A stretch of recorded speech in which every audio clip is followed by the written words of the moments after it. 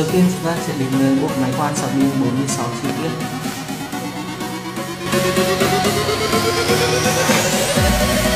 Ấn tượng đầu tiên khi chúng ta mở hộp ra là chúng ta có thể thấy được tờ hướng dẫn sử dụng.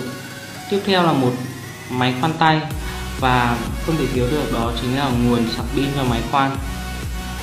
Kèm theo đó là 46 chi tiết của đầu máy khoan. Nguồn của máy khoan sạc pin sử dụng nguồn DC đầu vào 220V cho đến 240V, đầu ra là 6V đến 300mA. Về thiết kế bên ngoài cho chúng ta thấy máy khoan 46 chi tiết là một máy khoan vô cùng nhỏ gọn nhưng thiết kế vô cùng đẹp mắt. Tính năng của sản phẩm thì không hề thua kém những máy khoan đắt tiền khác. Công tắc của máy khoan 46 chi tiết có hai chế độ. Khi các bạn nhấn bên dưới thì máy sẽ quay ngược chiều kim đồng hồ. Khi các bạn nhấn công tắc bên trên thì máy sẽ quay cùng chiều kim đồng hồ. Bây giờ chúng ta sẽ cùng tìm hiểu phía trên của sản phẩm. Chúng ta có thể thấy ở đây là có 3 đèn led khi chúng ta nhấn nút bấm thì đèn led sẽ thông báo các vạch pin. Và khi chúng ta sạc pin thì cái led cuối cùng màu đỏ sẽ sáng. Còn đây là nút ấn đèn pin để chúng ta thích hợp làm việc trong các môi trường tối sáng khác nhau.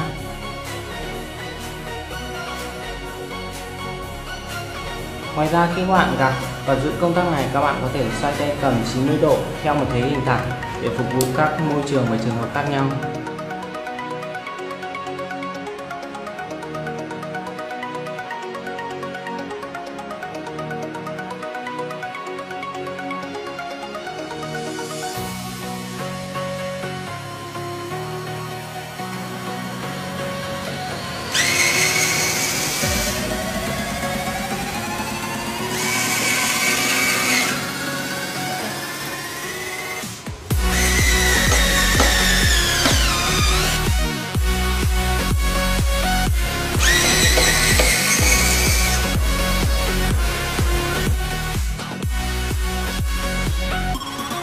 Khi mình dốc ngược máy khoan xuống thì mũi khoan không bị rơi ra do đã được ngang cầm giữ.